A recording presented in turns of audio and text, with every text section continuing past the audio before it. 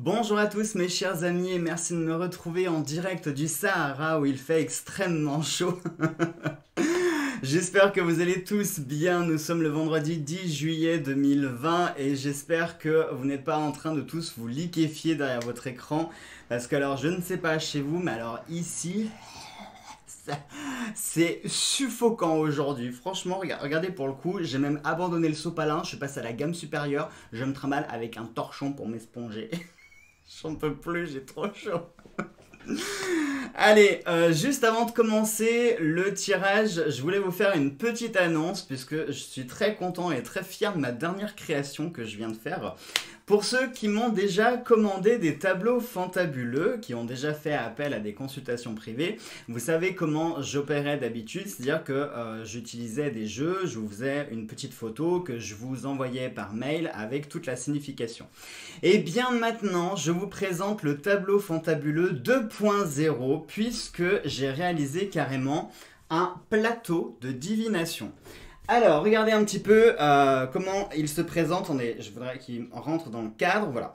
Donc, désormais, le tableau fantabuleux, vous retrouverez euh, ici votre tableau avec le carré fantabuleux où chaque carte correspond à quelque chose de particulier. On retrouvera trois cartes de l'oracle fantabuleux pour faire euh, quelque chose d'un petit peu plus détaillé. En haut, on retrouvera les pièces de fortune, accompagnées de trois prédictions avec le rond de cristal, et également, il y aura une réponse avec le pendule.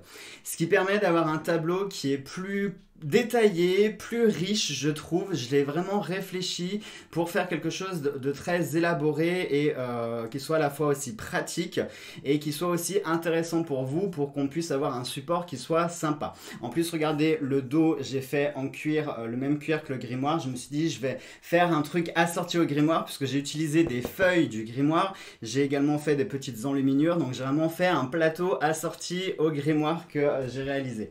Donc, si vous êtes intéressé pour avoir, euh, pour bénéficier de ce tableau, pour avoir une consultation privée, n'hésitez pas à cliquer en bas, euh, enfin à côté du titre, vous avez une petite flèche avec une liste déroulante, vous avez mon adresse mail, le lien de la cagnotte, etc. Vous avez toutes les informations pour commander votre tableau. Allez, c'est parti tout de suite. Excusez-moi, je vais me plonger un petit peu. Voilà. Allez, c'est parti, on y va tout de suite avec l'oracle Advita Aeternam pour nos énergies euh, de base, euh, suivi et accompagné du message du veilleur, et puis, et puis, et puis, le grimoire des oracles, et enfin, l'almanach de la sorcière. Je me tâte même, je vais voir, je vais réfléchir, je vais, peut-être faire un essai avant, euh, je me dis que c'est peut-être un petit peu trop... Qui c'est qui klaxonne? Oui, j'arrive. Je finis ma vidéo, j'arrive. Je sais pas qui c'est. Je me tâte même à vous le proposer en tirage pour euh, les énergies du jour. Mais j'ai peur que le tableau soit trop complet en fait pour euh, faire les énergies du jour. J'ai peur qu'on ait beaucoup trop d'informations et je voudrais pas que ce soit trop long non plus. Donc j'en sais rien, je ferai un essai. Hors caméra, vous verrez pas la vidéo. C'est pour moi pour voir si c'est jouable en 20-25 minutes et voir si ça fait pas trop d'informations. On verra, on verra. Allez, c'est parti tout de suite. En plus, je me dis que ça peut être sympa parce que du coup, je vous fais une petite. Euh, la vidéo, je la commence sur ma tête. La protection. On nous parle ici de protection, d'être protégé. Peut-être que le début de la vidéo, je vous mettrai un petit euh, bonjour à tous, hein, un petit coucou, et puis après, je vous basculerai d'angle pour euh, être sur le plateau. On verra, on verra. Vous me dites en commentaire si, si ça vous intéresserait ou pas, ou si vous préférez qu'on garde ce format-là, me voir brasser les cartes et tout. vous me dites, vous me dites. Vous le savez, hein, c'est pas parce que c'est ma chaîne, euh, ma communauté est tout aussi importante et euh, vos avis comptent énormément afin que je puisse modeler aussi la chaîne selon vos envies et vos besoins. D'accord hein, euh, certes c'est ma chaîne, je suis libre de faire ce que je veux et de dire ce que je veux et tout et tout, mais c'est quand même intéressant que vous me donniez aussi votre avis parce que moi ça me permet aussi d'adapter la chaîne à vos envies et besoins. Allez, c'est parti. J'en peux plus. Je vais mourir.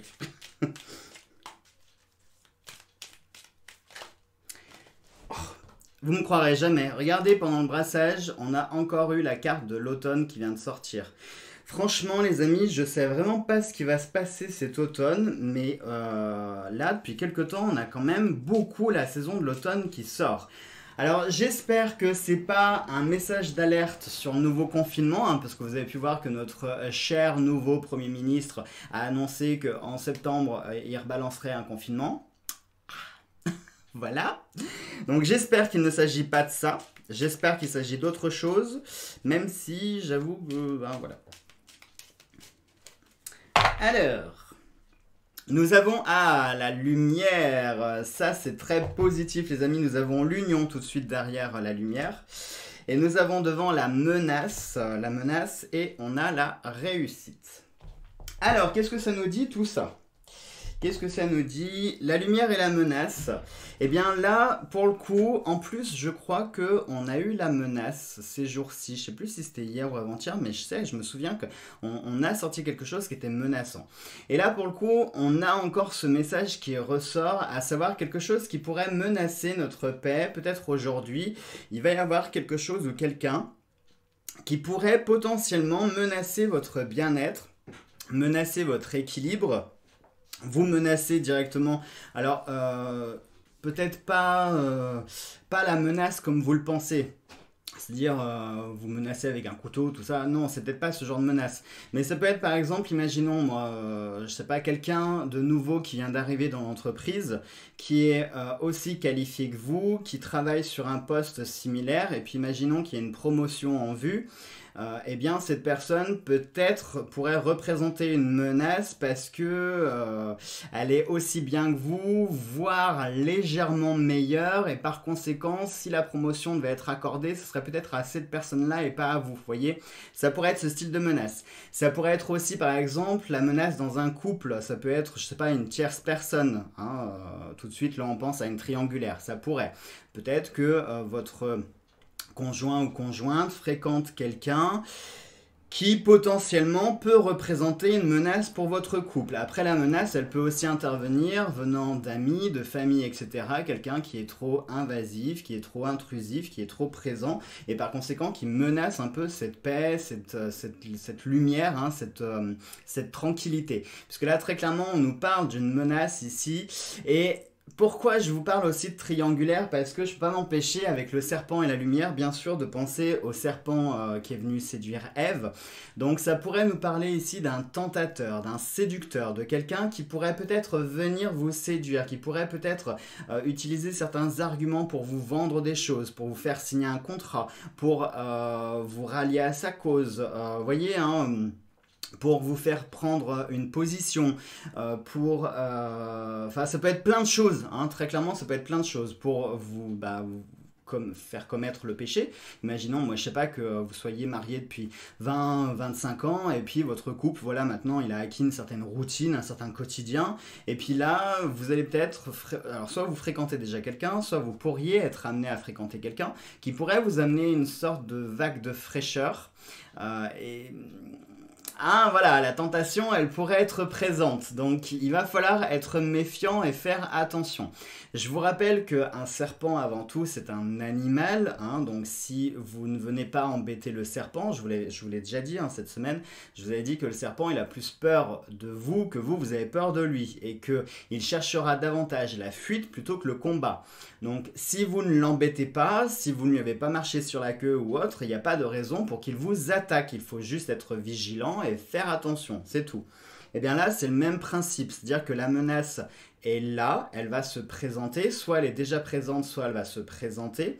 Mais ça ne veut pas dire que ça y est, tout est foutu. Non, il va simplement falloir faire attention. Hein. On vous demande d'être vigilant pour aujourd'hui. Le, euh, le serpent aussi, on pourrait l'associer à tout ce qui est trahison, fourberie, traîtrise, mensonge. Peut-être qu'aujourd'hui, on va, c'est possible aussi avec la lumière, on pourrait peut-être vous raconter certains bobards. Peut-être qu'on va vous raconter certains mensonges. Euh, peut-être que euh, vous allez vivre une trahison, ou peut-être que c'est vous qui allez être amené à trahir parce que la lumière, ça pourrait aussi symboliser vos valeurs. Peut-être qu'aujourd'hui, vous allez devoir plus ou moins renoncer à vos valeurs, ou vous êtes menacé euh, à à rompre avec vos valeurs pour dissimuler quelque chose. Je prends un exemple très concret. Imaginons que vous soyez le témoin de euh, votre meilleur ami qui est en train de tromper, euh, voilà. Et le problème, c'est que c'est votre meilleur ami, mais également son conjoint ou sa conjointe, vous l'appréciez beaucoup, et du coup, vous êtes dans une position qui est ultra délicate parce que vous, ça vous met mal à l'aise sur le fait que bah, maintenant vous savez ce que euh, cet ami fait et en même temps vous pouvez pas le révéler parce que ça va faire de la peine à l'autre, etc. Mais en même temps vous pouvez pas le garder pour vous. Vous voyez, ça pourrait vous mettre dans une situation comme ça de mal à l'aise, de conflit, de quelque chose. Et c'est peut-être ça qui va faire que vous allez devoir renoncer à une partie de vos valeurs en vous disant est-ce que je dois être honnête et dire la vérité? Au risque de tout briser de faire de la peine à tout le monde Ou alors est-ce que je me tais parce que quelque part ça ne me regarde pas Je me tais pour, que, euh, pour conserver un semblant de paix et d'amour Voilà, ça peut, être, ça peut être un choix dans ce style-là, hein une espèce de choix de conscience. Allez, on va voir avec euh, le veilleur ce que ça nous dit.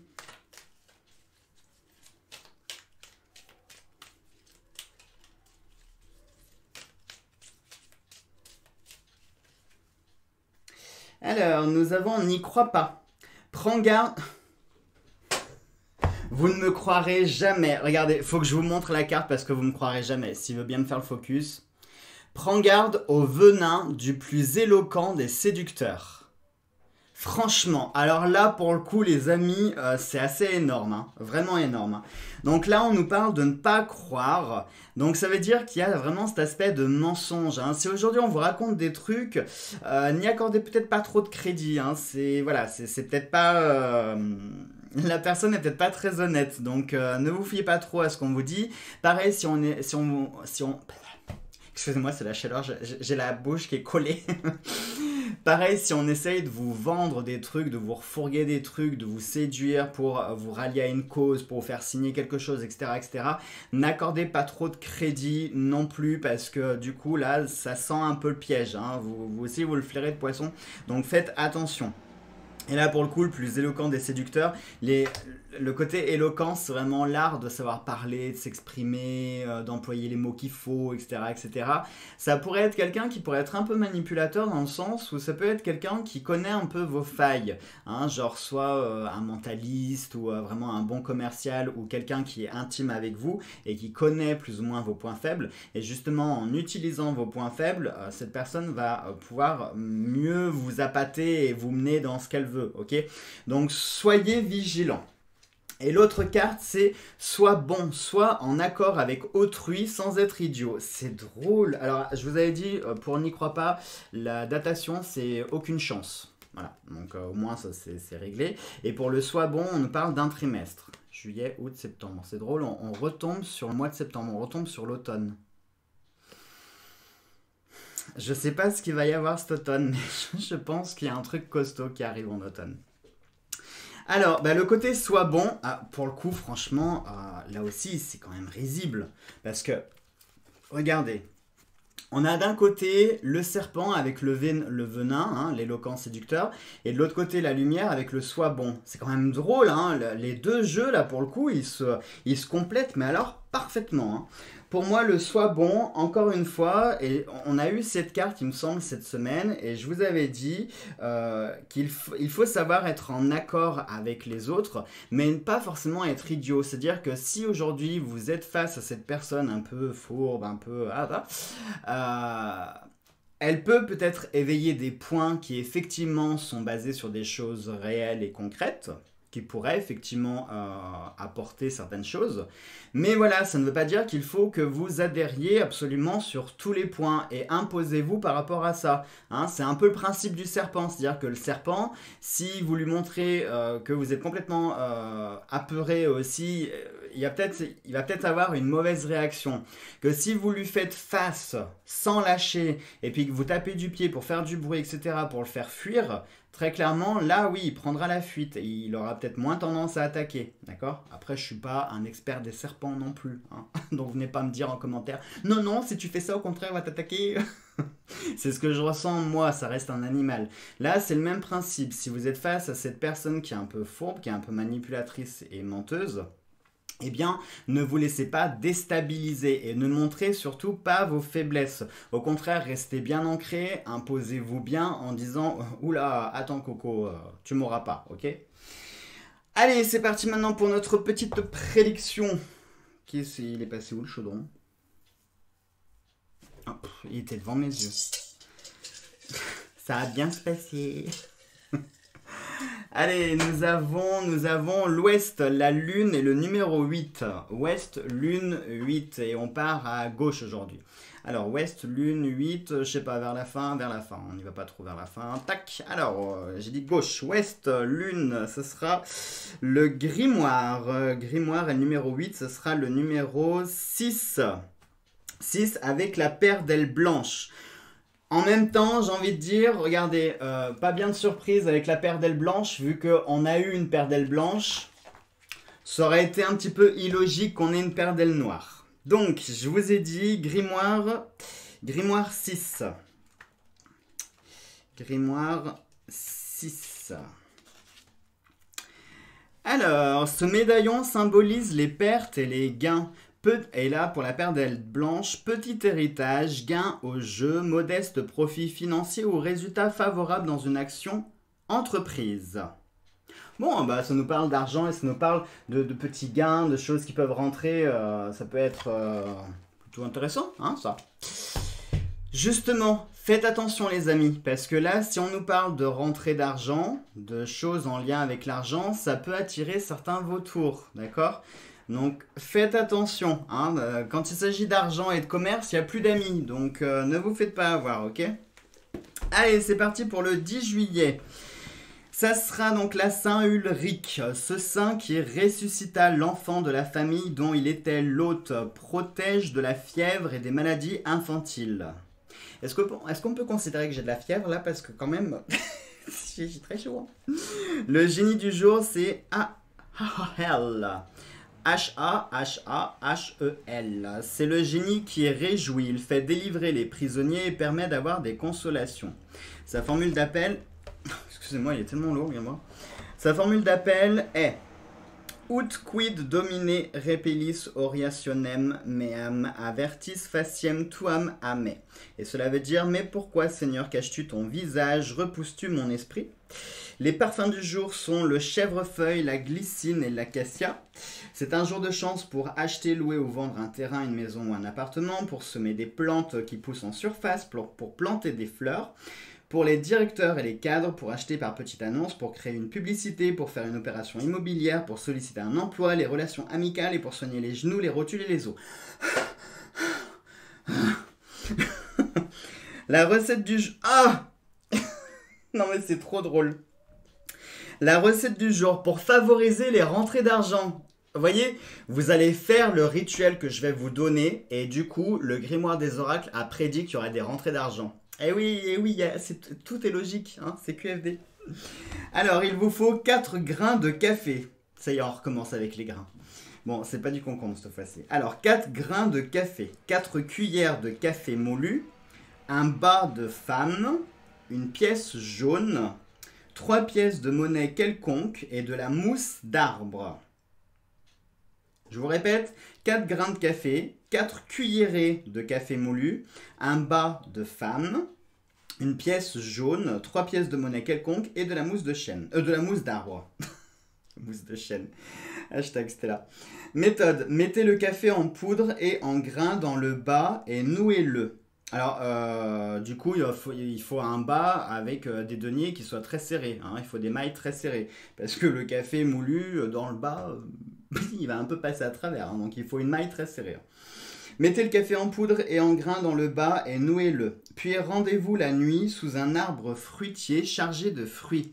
Déposez le bas à son pied en cachant la pièce jaune en dessous et recouvrez soigneusement avec la mousse. Quand vous rentrez chez vous, mettez les trois pièces sous votre oreiller pendant neuf nuits. Voilà. Bah franchement, c'est assez simple à faire. Ça peut être assez marrant aussi à réaliser et, euh, et à voir si, euh, si, ça fonctionne. Alors bien sûr, c'est comme d'habitude, à voir si ça fonctionne, c'est selon votre intention. Il faut que vous croyez en ce que vous faites. Si vous ne croyez pas en ce que vous faites, la magie ne fonctionne pas. La magie, elle a besoin d'un moteur pour fonctionner. Et entre autres, les sentiments, les émotions et l'intention que vous mettez dans vos rituels, c'est ça qui va porter et qui va créer la magie, d'accord? Parce que si vous le faites juste euh, comme on fait une recette de gâteau, bah voilà quoi, euh, vous aurez peut-être pas les résultats escomptés. Hein. Bon, allez les amis, ce sera tout. Moi, je vais euh, filer sous une bonne douche euh, bien froide. Je vous embrasse tous très fort. Attendez, j'ai perdu mon curseur. Je vous embrasse fort. On se retrouve. quel... Ah bah oui, on est vendredi. donc on se retrouve là cette. Bah, aujourd'hui, dans la journée, pour faire les énergies du week-end. Et puis, il faut que je vous fasse les énergies aussi à venir. Oh, j'en ai marre. J'ai du retard que j'accumule avec tout ce que j'ai à faire tous les jours, c'est atroce. Allez, prenez bien soin de vous. N'oubliez pas de bien vous hydrater. Buvez beaucoup, d'accord? Buvez de l'eau, hein, si possible. Rafraîchissez-vous bien. Mangez léger, mangez des fruits. Pensez à bien vous hydrater, c'est important. Allez, gros bisous à tous